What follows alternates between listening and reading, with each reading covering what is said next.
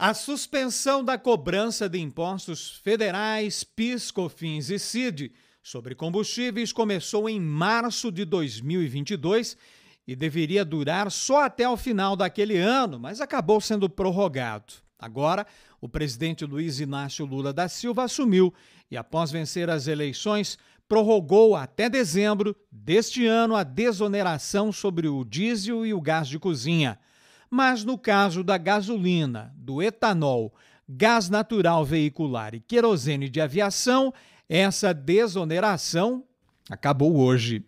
O impacto no litro do álcool a partir de hoje vai representar um aumento de 2 centavos e a partir do quarto mês, 24 centavos. Já para a gasolina, a partir de hoje, o aumento representará um custo maior de 47 centavos por litro. E a partir do quarto mês, 69 centavos.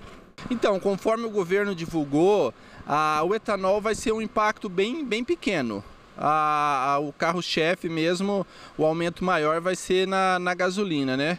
E essa questão do repasse, a gente, como sempre a gente faz, a gente vai repassar aquilo que a companhia nos repassa.